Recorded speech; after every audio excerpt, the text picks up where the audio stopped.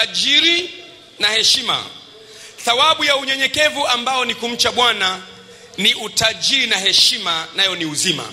Unaona? Nimekuonyesha jinsi ambavyo utajiri na heshima vimeungana vina uhusiano.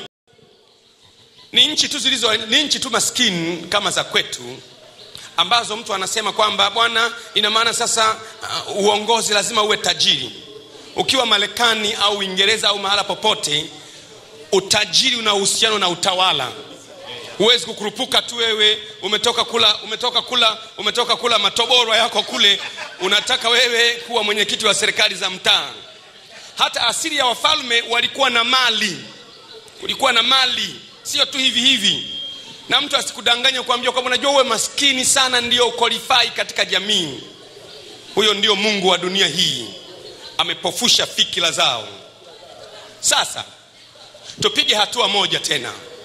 Tumeona namba moja historia ya utajiri mbinguni. Namba mbili tukaona heshima ina uhusiano na utajiri. Tatu tuangalie baba zetu wa imani waliokuwa matajiri. Unajua tumeshazoea tu baba mungu wa ibrahimu isaka na yakobo mungu wa esau tunawataja mpaka huko chini. Tunashindwa kujua kitu gani kimefanya mungu wa ibrahimu atajwe. Moja ya vitu vilivyomfanya ibrahimu awe kioo cha imani ni utajiri wake. Ibrahimu alikuwa tajiri. Tuliwahi kusoma siku moja ilitokea vita. Ibrahimu akawatoa vijana wake mia nne. Yaani kwenye nyumba yake abrahamu ana wale wanaokaa kwake 400 men and women biblia inasema eti ibrahimu akawatoa vijana wake mia nne akawapa silaha. Hebu jaribu kuwaza silaha mia nne kwenye familia ya mtu mmoja abrahamu. Wakatoka watu kwenda kumkomboa rutu. Tuangalie historia ya abrahamu. Kwa sababu mungu wa abrahamu ndiyo mungu wetu. Nani anaamini mungu wa abrahamu ndiyo mungu wetu? Ndiyo maana duniani mungu alipomtokea mtu akamtokea musa akamwambia mimi ndimi mungu wa abrahamu isaka na yakobo. Alikuwa anajaribu kujitofautisha na miungu wengine wako wengi. Lakini anasema mimi ndimi mungu wa abrahamu isaka na yakobo. Yaani mungu wa mungu wa abrahamu isaka na yakobo. Hebu tumwangalie ibrahimu utajiri wake ambaye wewe unamwabudu mungu wake. Ajabu kweli. Mungu wa ibrahimu ameungana na utajiri na mali na wewe unasema unamwabudu mungu wa ibrahimu isaka na yakobo. Leo nataka kila mtu kwenye mimba ya umaskini aitoe leo kwa jina la yesu.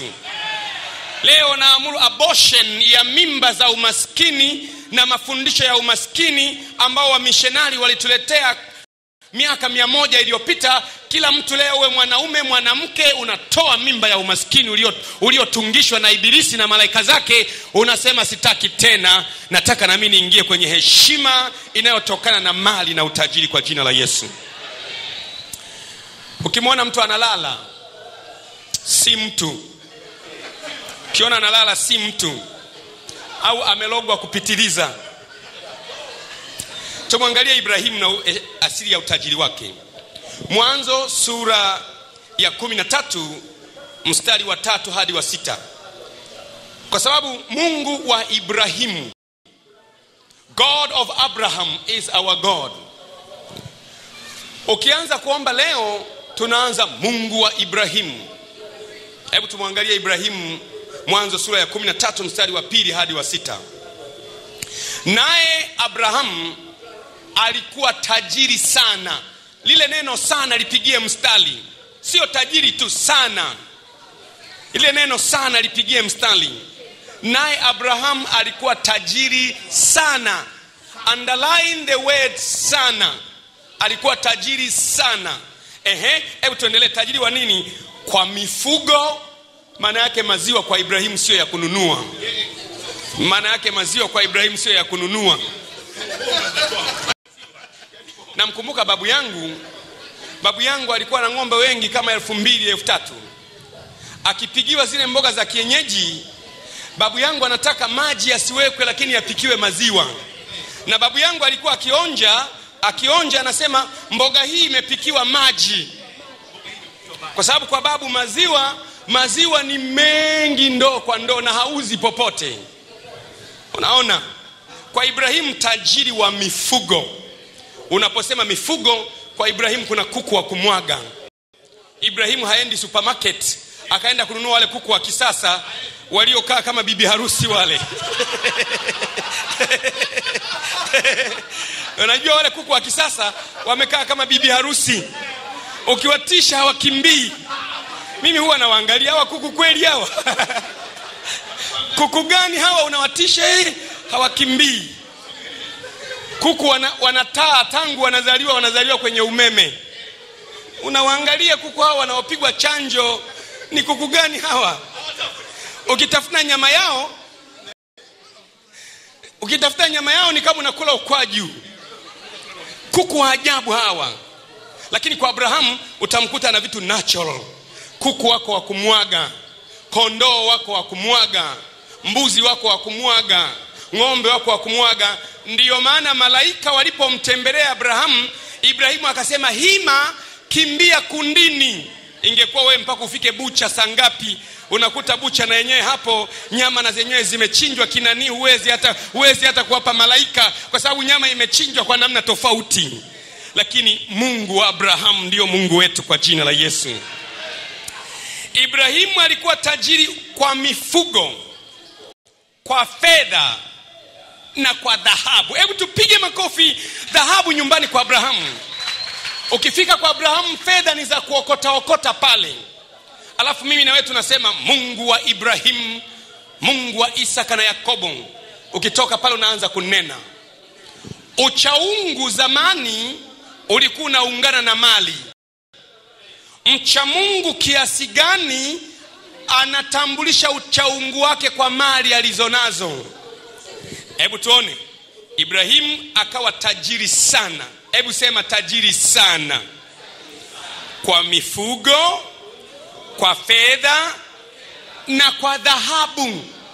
Pigie bwana makofi haleluya haleluya. Unaongea hapa ni miaka elfu moja kabla ya kuzaliwa kwa kristo.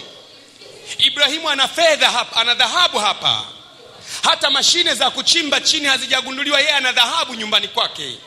Sasa leo wewe una graduate tu chuo kikuu hata dhahabu huna hata mkononi huna hata ile ya shingoni huna. Matokeo yake watu wanaanza mafundisho kwamba kuvaa dhahabu ni mashetani. Unaona acha kuvaa dhahabu ni mashetani. Ma, ne, ni, ne, ni mashetani. It is nonsense. It is bewitching the believers ni kuwaloga waamini. Enyi wagalatia msio na akili nani aliyewaloga? Unajua ukimwambia mtu amelogwa anakasirika sana. Lakini kama umelogwa umelogwa tu. Unaona unasoma ule mstari unaoendelea wa pili wa tatu, akaendelea kusafiri kutoka kusini mpaka betheli mahala pale alipokuwako hema ya kwanza kati ya bonde ya, ya betheli na ai. Unaona akasafiri ana mifugo ya utajiri ana dhahabu ana fedha akasafiri. Mwambie mwenzako unasafiri?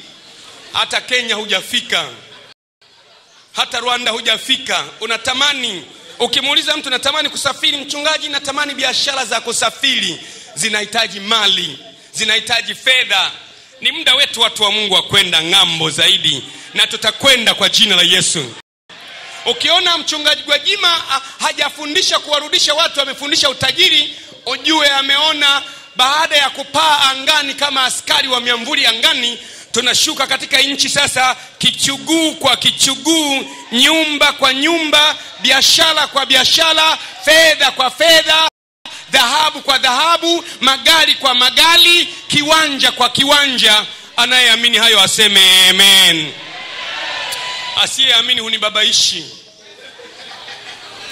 You have your personal problems. Lakini wale wana wa mungu leo na kubeba vile vile ulivyo. Tunataka twende kwenye ulimwengu wa sio tena ulimwengu wa kupungukiwa. You have the power. Jaribu kujiuliza mtu anayemwabudu shetani ana mali. Unayemwabudu mungu wa kweli huna mali. Unaona akasafiri mpaka ai mstari wa nne napo ndipo palipokuwa na madhabahu aliyoifanya hapo kwanza naye abrahamu akaliitia jina la bwana pale. Unaona sasa ajabu hii. Jamaa ana ni tajiri sana. Jamaa ana mali. Jamaa ana fedha bado anajenga na madhabahu. Analiitia jina la bwana. Unaona? Ana mali ana fedha ana mifugo anasafiri alafu anajenga na madhabahu ya kulitia jina la bwana. Unaona sasa lakini wewe huwezi kulitia jina la bwana. Nini? Una madeni. Una madeni. Unapopita karibu na duka la mpemba lazima uiname. Au uangalie pembeni ujifanye unaimba ametenda maaja kumbe unamkwepa mpemba. Mungu anataka kukubariki na mali kwa jina la yesu.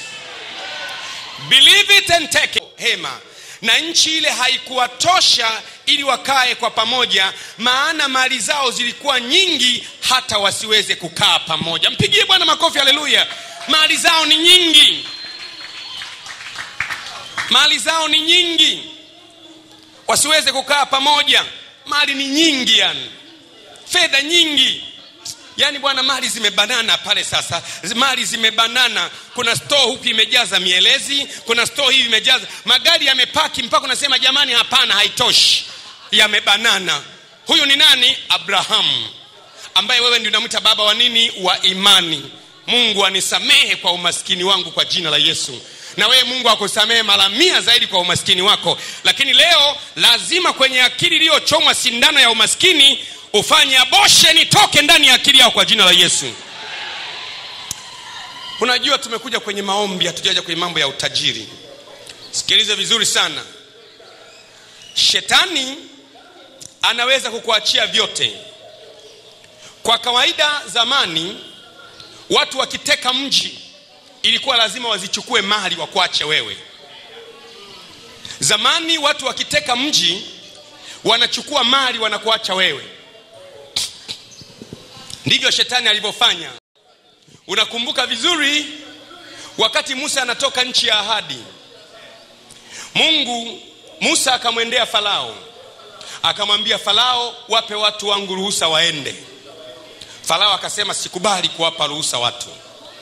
Mungu akampiga farao kwa mapigo ya kutosha. Farao alipopigwa sana akamwita musa akamwambia nimeruhusu nimekubali mwende. Lakini masharti yako hivi nendeni na watoto wenu. Nendeni na mali zenu. Nendeni na watoto wenu. Nendeni na wake zenu. Nendeni na watoto lakini mali mziache. Farao anajua kwamba wakiwa hawana mali si kitu. Ondokeni. Mali mziache. Ametoa ruhusa nusunusu nendeni na watoto na wake zenu na makuhani wenu na, na maombi yenu na magombo yenu na mavitabu yenu. Mali mwache musa akamjibu farao tutaondoka na wake zetu tutaondoka na watoto wetu tutaondoka na makuhani wetu tutaondoka na mali zetu zote. Hatutaacha hata ukwato mmoja nyuma. Tunaondoka na mali zote. Na sisi tumeamua sasa tunaondoka na wake zetu na watoto wetu na binti zetu na kanisa letu na mali zetu zote. Hatutaacha gesi wala hatutaacha dhahabu wala almasi. Maana mungu anaweza kutuomba almasi wakati wa kuabudu ndivyo shetani alivyo waache waende. Mmekaa mahali mnajiimbia mwamba mwamba hamna kitu. Waache waimbe. Waache waimbe. Their singing does not affect my, my presence. Waache waimbe. Wakimaliza kuimba watakuja kununua lambalamba kwangu. Waache waimbe. Wakimaliza kuimba watakuja kununua chapati kwangu. Waache waimbe. Wakimaliza kuimba watakuja wakope kwangu. Waache waimbe. Wakimaliza kuimba ni watumwa wangu sikiliza vizuri. Shetani alikuwa anachukua watu. Utaona kwa mfano wale waliokuja kumteka rutu sodoma na gomora. Mwanzo sura ya kumi na nne na mstari wa kumi na moja. Naongea habari ya kumiliki hazina na mali. Mwanzo sura ya kumi na nne mstari wa kumi na moja. Wakachukua mali zote za sodoma na gomora na vyakula vyao vyote wakaenda zao. Tunaona hapa lutu amevamiwa wale waliomvamia wakachukua mali wakaondoka nazo. Ukisoma mstari wa kumi na mbili wakaamua kuchukua na human resource. Unajua kuna wakati unaweza kuchukua mali na ukasort out watu wenye akili ukaondoka nazo. Kwa sababu mali mali in terms of assets kuna vitu fulani lakini kuna, kuna akili. Ukiwabeba wenye akili unawaachia wanyonge wa watu wa nchi naachia wanyonge wanyonge wenye vichaa vichaa ambao hawawezi kuzalisha mali. Unaona wakamtoa na rutu mstari wa kumi na mbili. Wakamtoa na rutu mwana wa nduguye aliyekaa huko sodoma na mali yake wakaenda nazo. Unaona a, imechukuliwa mali ya rutu akachukuliwa na rutu mwenyewe. Sasa ibrahimu baba wa imani tajiri sana wa mifugo na fedha na dhahabu akaenda kumrudisha rutu. Alipomrudisha hakumrudisha peke yake. Ukisoma mwanzo sura ya kumi na nne na mstari wa kumi na sita tunarudisha watu. Mwanzo sura ya kumi na nne na mstari wa kumi na sita imeandikwa naye akarudisha mali zote akamrudisha na rutu nduguye na mali zake. Nisome mstari wa, wa, wa, wa, wa kumi na sita. Mwanzo kumi na nne mstari wa kumi na sita naye akarudisha mali zote akamrudisha na rutu nduguye na mali zake na wanawake pia na watu. Unaona? Ilitokea watu wamemteka rutu wameondoka naye wamechukua mali zote. Abrahamu akawapa vijana waliozaliwa nyumbani kwake mia nne waende wakapigane vita. Walipopigana vita wakamrudisha rutu wakarudisha na mali yaani wakarudisha watu wakarudisha na mali. Lakini sisi tumerudisha watu peke yake. Amerudi ulikuwa wapi? Nilikuwa shimoni. Amerudi ulikuwa wapi? Nilikuwa kwa shehe yahaya amerudi ulikuwa wapi? Nilikuwa mjengoni. Amerudi ulikuwa wapi? Nilikuwa mahali fulani fulani. Tunatakiwa kurudisha na mali sasa. Akirudi mtu bila mali atakula nini? Atalala wapi? Lazima turudishe na mali zote. Kila mali iliyoibiwa na shetani kutoka mahala popote uwe ni utajiri iwe ni fedha iwe ni mamlaka lazima irudi kwa jina la yesu. Watu waseme njoo! Inawezekana sasa sio tu watu warudi mikono mitupu na mali na mali mengi. Unaona hata wana wa israeli ile mwanzo sura ya kumi na tano mstari wa kumi na nne. Hata na taifa lile watakaowatumikia nitawahukumu na baadaye watatoka na mali mengi. Hiyo ni mwanzo 15 mstari wa 14 unaona tumemwona ibrahimu baba wa imani ni tajiri wa mifugo na fedha na dhahabu baba wa imani. Lakini hebu tumwone mwanaye isaka. Tumemwona ibrahimu maana agano la mungu lilianza na ibrahimu ibrahimu akamzaa isaka. Tumemwona ibrahimu alikuwa tajiri sana. Hebu tumwangalie na mwanaye isaka kwenye kitabu cha mwanzo sura ya 26 na mstari wa kumi hadi wa kumi na nne. Ukiishika pakeji hii ukaibeba vizuri maisha yako yanabadilika. Ukitaka kumbadili mtu ubadilishe nia yake. The most important organ on a human being is the mind. Mind yako ikibadilika maisha yako yanabadilika. Mtazamo wako unavyotafasiri mambo unavyoyaona mambo unavyoyahukumu mambo unavyoyakusanya mambo na kuyaita majina husika ukibadilika kwenye namna ya mtazamo maisha yako yanabadilika. Ninaamuru mtazamo wa kimaskini uhame kwenye akili yako na familia yako kwa jina la yesu. Hebu sema kwa jina la yesu ninakataa mtazamo niliyowekewa wa kimaskini kwa jina la yesu. Tumeona ibrahimu alikuwa tajiri akamzaa isaka je isaka alikuwa tajiri pia?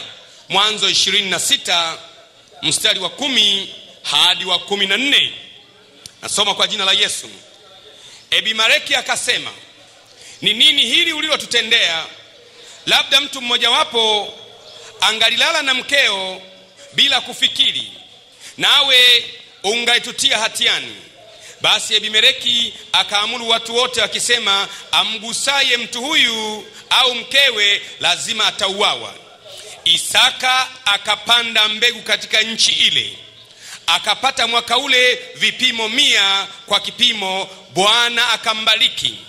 Na mtu huyo akawa mkuu akazidi kustawi hata akawa mkuu sana akawa na mali ya kondoo na mali ya ng'ombe na mali ya watumwa wengi nao wafilisti wakamhusudu. Mpigie bwana makofi haleluya. Huyu ni isaka huyu. Amefanikiwa kwa projekti ya kilimo. Ana projekti ya kilimo. Unaona? Tumemwona abrahamu yeye ana fedha ana dhahabu. Huyu isaka yeye ana kilimo. Biblia inasema akapanda mbegu ina maana alihitaji elimu ya kupanda mbegu akapanda mbegu. Na mstari wa kumi na tatu nashangaa sana mtu huyu akawa mkuu. Naamuru uwe mkuu kwa jina la yesu. Naamuru kwenye, kwenye, kwenye ukulima uwe mkuu kwa jina la yesu. Lifanyike jambo litakalokuingiza kwenye miradi ya kilimo. Lifanyike jambo litakalo kuingiza kwenye miradi ya umwagiliaji lifanyike jambo litakalo kufanya umiliki kilimo mahali uwe mkuu kuliko watu wote wa bagamoyo uwe mkuu kuliko watu wote wa mwanza uwe mkuu kuliko watu wote wa kigoma uwe mkuu kuliko watu wote wa iringa uwe mkuu kuliko watu wote wa mbeya uwe mkuu kuliko watu wote wa songea uwe mkuu kuliko watu wote wa manyala uwe mkuu kuliko watu wote wa tabora uwe mkuu kuliko watu wa shinyanga uwe mkuu kuliko watu wote wa tanzania kama unabarikiwa simama useme amen.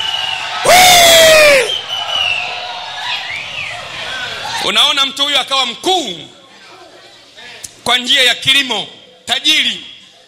Baba yake ibrahimu tajiri. Akamzaa mwanaye ni tajiri. Naona tajiri. Mpaka wakaanza kumwambia ulipokuja kwenye mji huu mali yako ilikuwa haba. Ukisoma mwanzo sura ya thelathini na mstari wa thelathini wanamwambia ulipokuja hapa mali yako ilikuwa haba na kuonyesha kwamba usiwaze tu kwamba isaka aliachua utajiri na baba yake.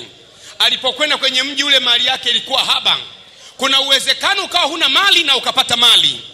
Lakini ukipata dozi sahihi mafundisho sahihi. Amen. Mwanzo 30 mstari wa 30, 30. genesis 30 and verse 30 maana mali yako ilikuwa haba ilikuwa haba kabla sijaja nayo imezidi kuwa nyingi bwana kakubariki kila nilikokwenda. Maana sasa nitaingia lini mambo ya nyumba yako mwenyewe? Ana mali nyingi. Kwa hiyo tunaanza kuona ibrahimu alikuwa na mali isaka alikuwa na mali. Tumwangalie yakobo. Tumwangalie yakobo. Ili tuwe na uwezo wa kusema mungu wa ibrahimu mungu wa isaka mungu wa yakobo wewe huwa unasema mungu wa ibrahimu isaka na yakobo kwa namna ya rohoni tu. Unasahau kwa namna ya mwilini kwamba walikuwa matajiri walikuwa na uwezo. Walikuwa na uwezo. Nilikwambia wiki iliyopita kuna kaandiko nikikasoma kwenye bibilia natamani nikafute. Tamani ningekuwa na uwezo ningechana hiyo au ningeweka maka pen. Kanasema tajiri atamtawala maskini naona unanena randalakapashatakaparatapapa rekapashotorota unanena kweli moto nawaka. ukiweka mkono juu ya mgonjwa pokea uzima anadondoka chini. Na hili halijaanza leo. Kwa kadiri maarifa yanapoongezeka duniani ya kumjua mungu ndivyo watu wanavyofunguka. Unakumbuka matendo ya mitume sura ya tatu? Mitume petro na yohana walikuwa wanakwenda kanisani saa ya kusali na kulikuwa na makilema mmoja aliyekuwa anawekwa kwenye mlango uitwao mzuri. Petro na yohana watu waliokuwa naegama kifuani kwa yesu walikuwa wanapendwa na yesu walikuwa wacha mungu. Walipokuwa wanaingia hekaruni yule kilema alikuwa kwenye mlango wa hekaru bibii inasema akawakazia macho akitegemea kupata fedha kwao. Petro akamwambia fedha na dhahabu hatuna unamwona petro anakwenda kanisani hana sadaka ya kwenda kutoa kanisani. Anasema fedha na dhahabu hatuna ila tulicho nacho ndipo tukupacho. Kwa jina la yesu kristo mwana mungu aliye hai simama uende wao hawajui baadaye atakulaje sasa. Baada ya kuwa amesimama aende wamemtengenezea tatizo lingine maana alikuwa anapokea hela kwa ulemavu wake wamemwondolea ulemavu. Sasa atakulaje sasa? Itakiwa iwe fedha na dhahabu tunazo. Chukua hizi hapa alafu cha pili simama nenda! Angechukua na mtaji akaenda kuanza biashara. Nina hakika yule bwana aliwalaumu sana. Mmeniletea matatizo makubwa nilikuwa hapa hekaluni napewa bule sasa mmeniponya itakuwaje? Nikamkumbuka mama mmoja kwenye nchi moja ya switzerland. Nilipomwombea nikamwambia simama! Aliposimama akatembea kidogo baadaye akanong'oneza pasta wale watu wa insurance wako hapa kwenye mkutano wako huwa wananilipa kwa sababu ya huu ulemavu. Nimeshatembea naomba nisitembee mbele yao nitaacha kupewa pesa. Unaona sasa analipwa kwa sababu ya umaskini mtu mmoja miaka iliyopita hapa dar es salaam nikamwombea akaninong'oneza unajua mimi ni mwenyekiti wa walemavu tanzania. Ukiniombea nikaona itakuwaje sasa? Ntanyang'anywa huu wenyekiti.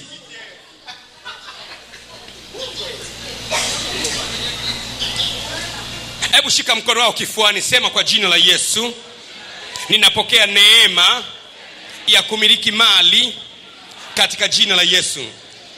Unaona petro na yohana wakamwambia fedha wala dhahabu hatuna.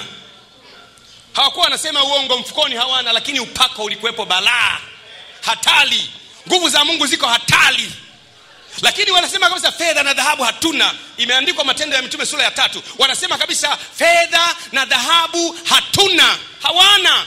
Ila upako sio mchezo. Jaribu kuwaza. Ina maana hata mitume kulikuwa na tatizo la kuunganisha mambo ya rohoni na utajiri ulioko ndiyo maana watu wengi hawajui kwa nini mtume paulo ameandika zaidi ya nusu ya agano jipya.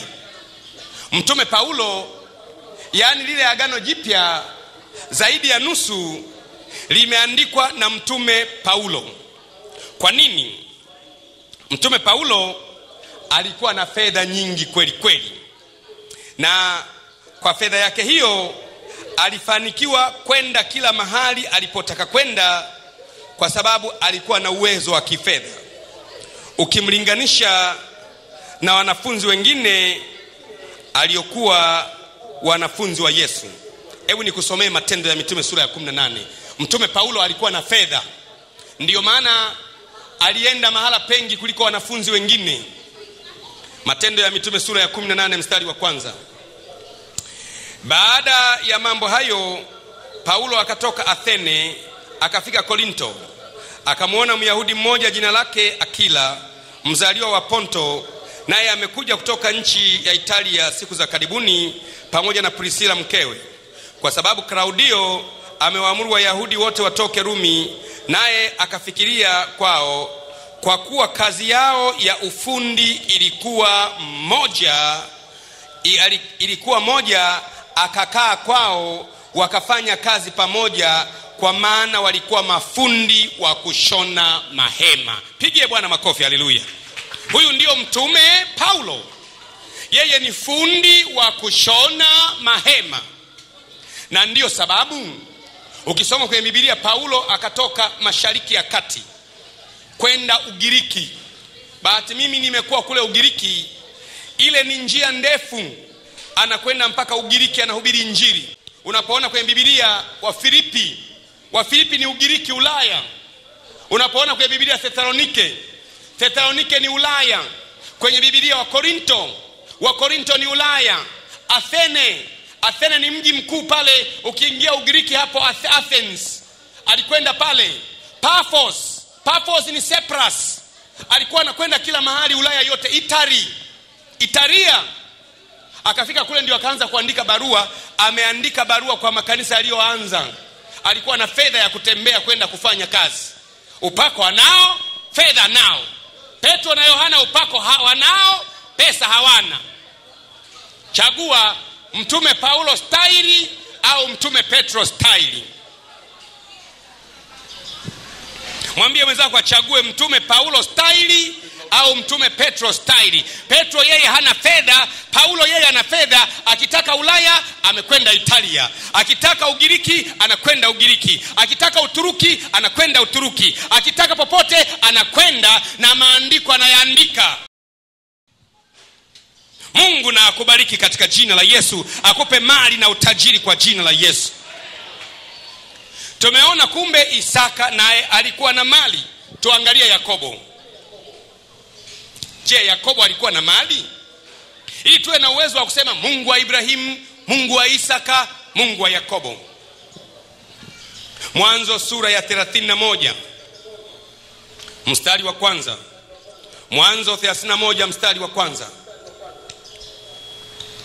Mwanzo 31 mstari wa kwanza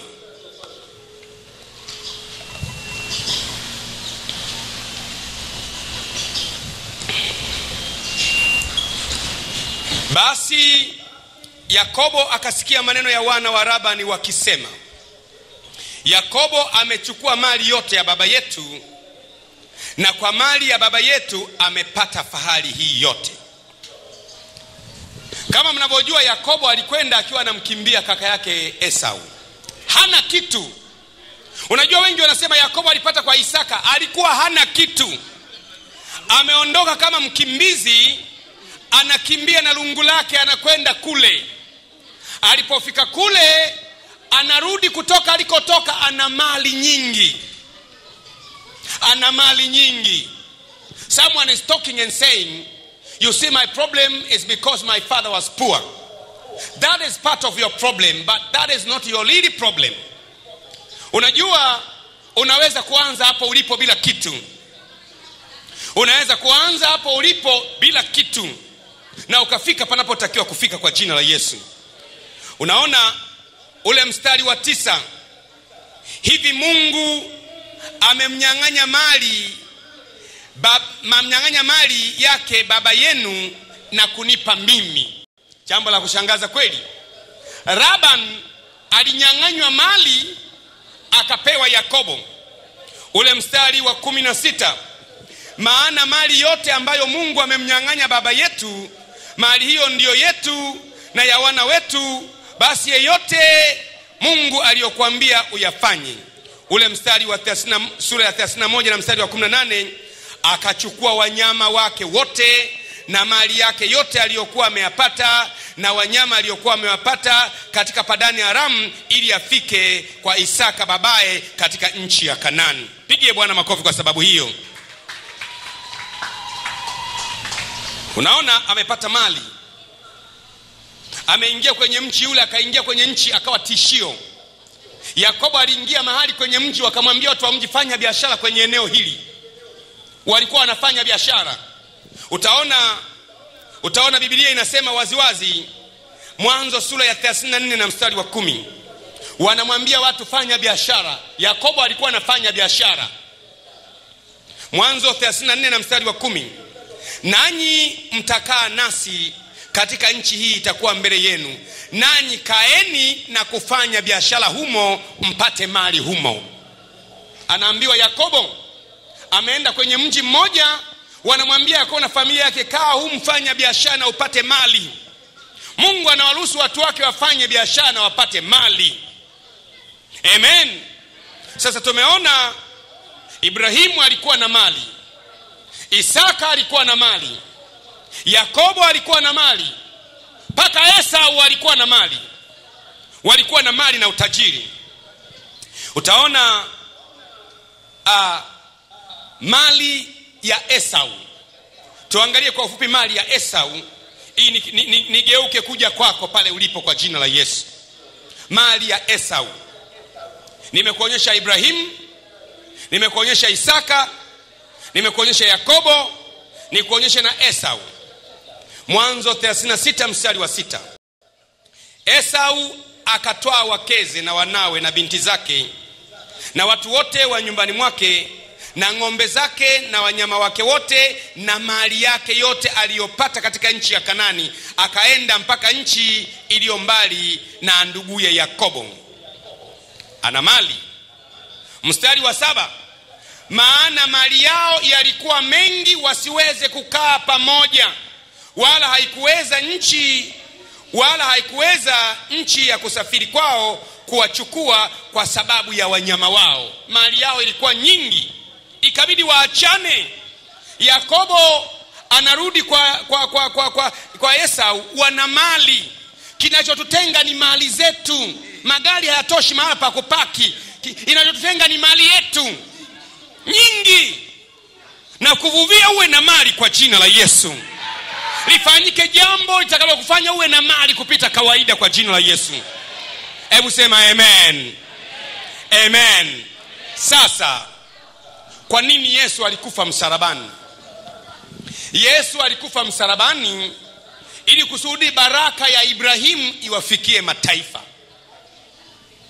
Wagalatia sura ya pili lengo la yesu kufa msalabani ni kusudi baraka ya ibrahimu ya utajiri iwafikie mataifa.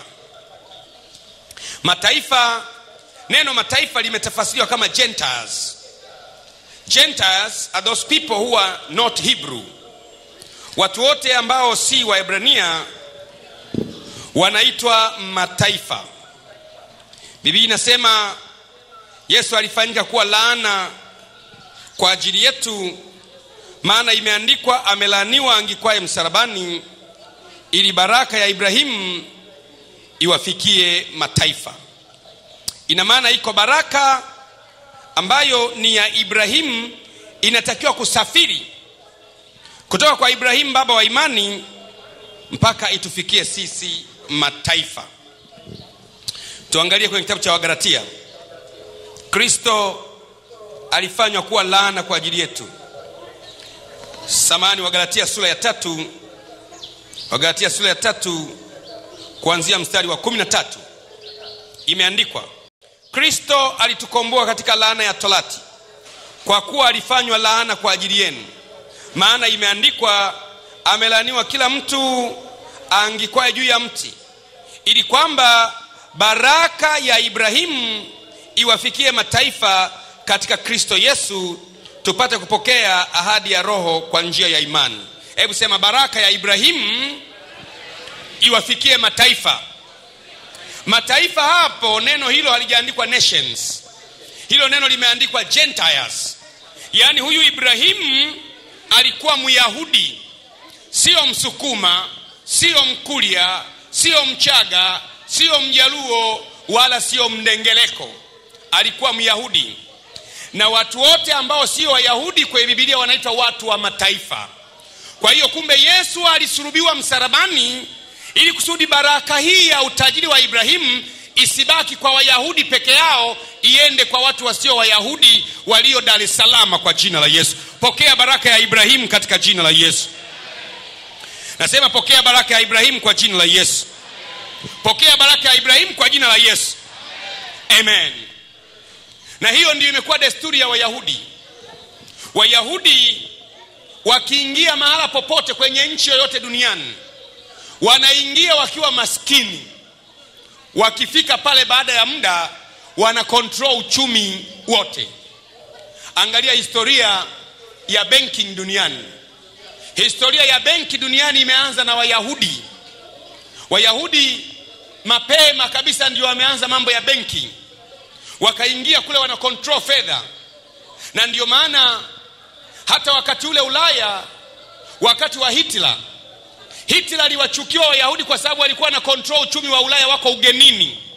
Wao wanajua wayahudi myahudi mmoja akaniambia ukifika kwenye mji kwanza fahamiana na mganga mkuu fahamiana na jaji wa eneo hilo fahamiana na mkuu wa kituo wa eneo hilo na umiliki ardhi.